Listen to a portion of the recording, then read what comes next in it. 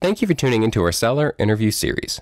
Up today, we've got an Amazon FBA and e commerce business for sale in the apparel and accessories niche. Created in January 2015, this business makes $4,551 per month in net profit, and the listing number for the business is 44420. We do these interviews to give potential buyers more information about both the seller and the businesses they're looking to purchase. We hope these insights are helpful for you in making a buying decision. We've got the seller with us today to go through the business and cover everything from niche selection to traffic and monetization. How are you doing today, Nate? I'm doing well. Thank you for taking the time to be on with me today. I really appreciate it, and I'm looking forward to our chat. All right. Well, looking forward to it too. Before we get to the questions that I have, I want to go ahead and run through a quick summary of the business. Again, the business was built in January of 2015, has a monthly revenue of $35,440, expenses of $30,889 to make for a net profit of $4,551, which is generated on a seven month average. Included in the sale of this business are the Amazon Seller Central account, Walmart account, eBay account, Bonanza account, Zulily account, two domains, and a Facebook page. Please note that inventory is not normally included in the list price. Further details can be provided to active depositors. Nate, can you tell us a little bit about your background in building and running online businesses? Well, this is the first one I've done. Three years ago, I just kind of went in with the attitude failure is not an option and pretty much got into sports and fitness type things because that's what I like doing. My wife and I are very into CrossFit and so a lot of our products are geared towards that. In the process, we got into some compression gear and found that that can be branded a lot better and you can build a brand with compression gear rather than having a lot of miscellaneous sports and accessories. You can keep building a brand and people will buy more than one product from you at a time. And so now you've got more regular customers because it works well for them and they'll keep coming back. So that's basically how we've started the business. And you mentioned this is your first business. So why are you selling it today? I'm tired of working by myself, to be honest with you. This is a job that it's not that difficult, not too hard, but I miss being around a lot of people. I'm in a warehouse by myself and I'm just ready to be around people again. So, you working the business by yourself, how much time would you say, you know, you have to put into the business on a weekly basis? 20 hours tops. And what are you doing during those 20 hours? I start my mornings often fulfilling the Walmart and eBay orders. That can take anywhere from half hour to on a Monday after a weekend up to 2 hours. And the rest is just doing a little bit of research, checking the listings, getting back to customers, making sure that if there's any review issues or anything like that, you handle that as quickly as possible and make sure the customers are happy. And really, that's about it. That's all I'm doing now. Do you feel like any of that could be outsourced to a virtual assistant or something like that if you wanted to bring the time commitment down for the business? Oh, easy. Is there a reason why you haven't done that? Just to give me something to do, to be honest with you. Mm-hmm. If I did that, I wouldn't be very busy at all. It's enough to keep me busy and allow me to, you know, still have a lot of free time throughout the day. But everything I'm doing now, most of it can be outsourced.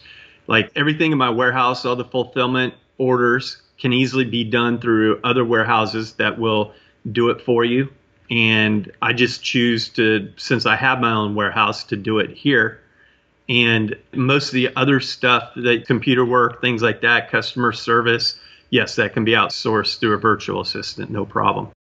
You mentioned that something that's crucial to the business is this brand that you've built up, and you're selling the branded products on Amazon, on Walmart, eBay, Zulily, and your own website. That's correct, right? Correct. Do you have a trademark on that brand? As of now, no again, is that something that you haven't done? It's something I haven't done just because I didn't feel it was necessary. Mm-hmm. So yeah, it's one of those things that it's easy enough to do. I just never really thought to do it. Didn't feel it was all that necessary.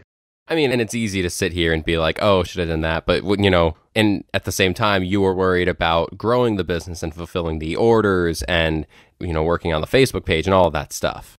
Correct. Is there a part of the business, I guess, a, a platform that you sell on that outperforms the others, or are they all pretty even? Amazon obviously sells the most by far. Mm-hmm.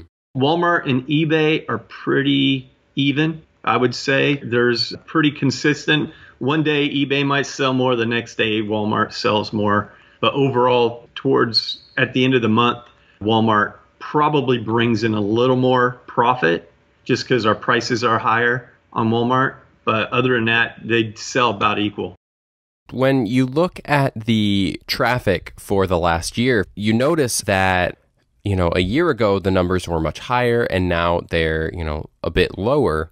And, you know, this last month you still had a gross revenue of $21,000, which is not a small amount, but it is smaller than, you know, last April you had 65,000 in revenue. Can you talk a little bit about why there's been that downturn?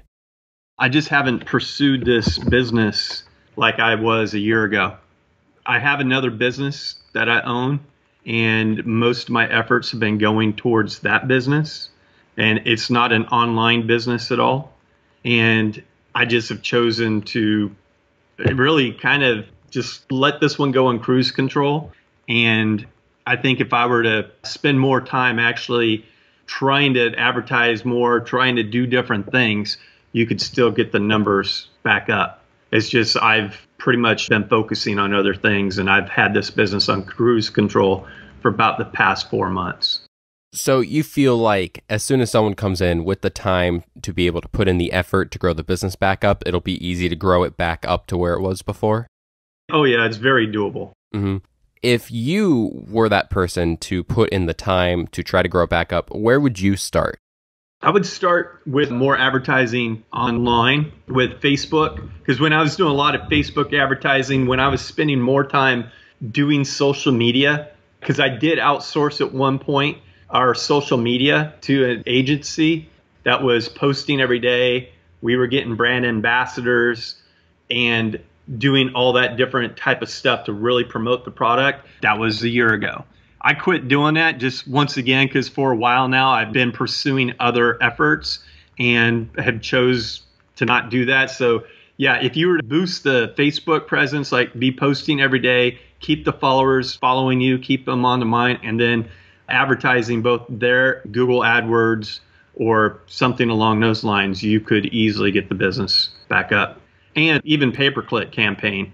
I've cut that back quite a bit, but the Amazon pay per click if you wanted to spend more money, it definitely paid off as well. Did you ever mess around with email marketing at all? No, I did not. So, do you feel like that could be another potential opportunity to grow the business? Because, you know, the good thing with email marketing is it helps you really build a brand and a connection with your customers. And with a business where the brand is as important as this one, you know, do you see a strong opportunity?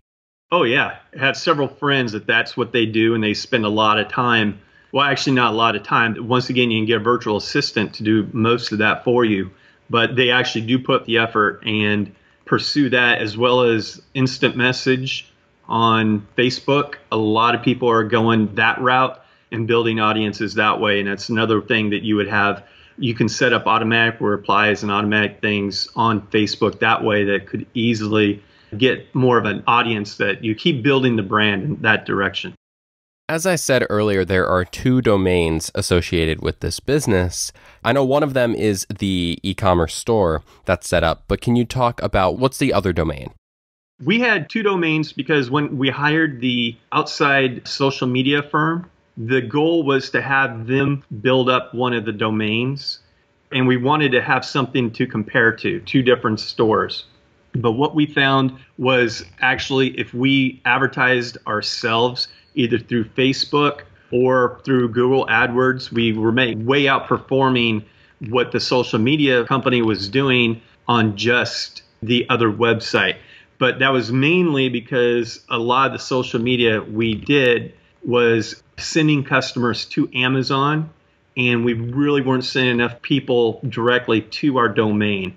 So ended up happening was we're really getting rid of the one domain because we haven't been selling on that really for about a year now. And it just made all the effort to go towards our main website, which was the original one. And that's where we're getting the business from.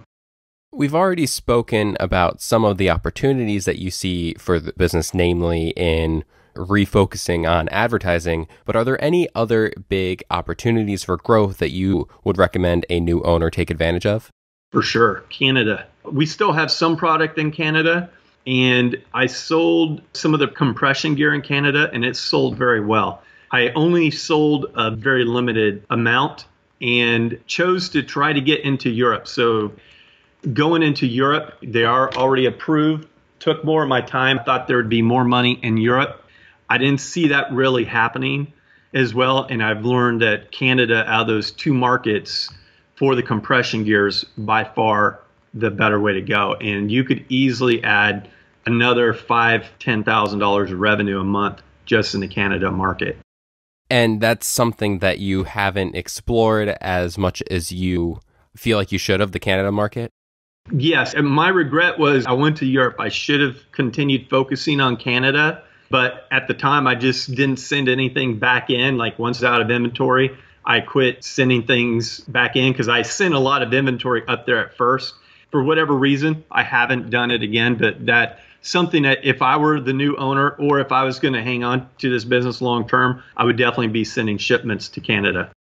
Are there any big risks associated with this business that you feel a potential buyer should be aware of? It's a good question. You're allowed to say no. I'm actually trying to be honest and think. Not that I'm aware of, I don't see any huge risk. I mean, there is risk when you create a new product that could be hit or miss. So anytime you're developing a new product or trying to get something new out to market, you do take a risk in that, but with existing product lines, there really are no risks because most of our products have good rankings, good reviews, and there's existing sales for just about everything we're selling. So, yeah, as of right now, there are no risks. But if you were to do this on your own, you're always taking a risk anytime you're developing a new product. Because sometimes you're going to hit a gold mine and sometimes you know it just might not sell. They'll still sell but it just won't sell as well as you were hoping. Yeah and i mean there's always you know when you're selling online there's always some risk of oh i'm on amazon's platform i'm subject to their rules but from the sound of it, it doesn't sound like there's anything super risky about this niche or this area that Not someone should be aware of you know as you and i were talking about a little bit before this call I know plenty of people who are, you know, into these kinds of products and into this area. So, I mean, I don't feel like this is a niche that's going anywhere. No, it's a huge niche. And I mean, the potential to continue growing within is there for anyone that wants to pursue it. I mean, you could easily add new designs and new products with our existing compression gear. That would be another thing that I would recommend a new buyer to do is take the existing and keep adding to the inventory, new designs, different things like that, because you never know what people are going to like and dislike. But most of the time, you get a new design, and that's something that starts selling very well right away just because it's fresh and new. And if customers have bought from you before, they often are loyal to you and will come back, and you're just offering new designs. Would you commit to a non compete? Of course. And how much support are you willing to offer a buyer during the transition period? Would you commit to email, Skype calls? What would you do to help? I can do all of that. I would even, depending on if it's somewhere here in America, I might even fly out for a couple days and help them on, you know, computer and one-on-one if necessary. Or they could come here and I'd be willing to help someone that way as well. But yes, Skype, emails, I'll be available for 30 days. Whoever takes over, I'd want them to be very successful and take this to the next level.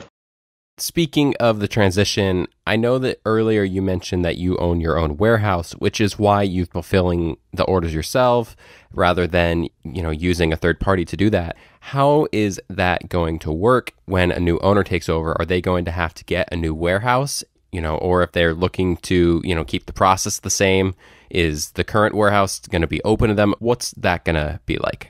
The current warehouse is being leased, so I don't own it. I just have, Okay. when I said have a warehouse, the process could be that I could ship the product to a customer who has their own warehouse, or even the storage units would be plenty that you need to do. Or if a buyer really doesn't want to get involved with the day to day of fulfilling Walmart and eBay orders, and that was the main reason I was doing the warehouse, is because neither one of those eBay you can use Amazon, but Walmart you cannot fulfill through Amazon program. You actually have to fulfill it through yourself or a third party location.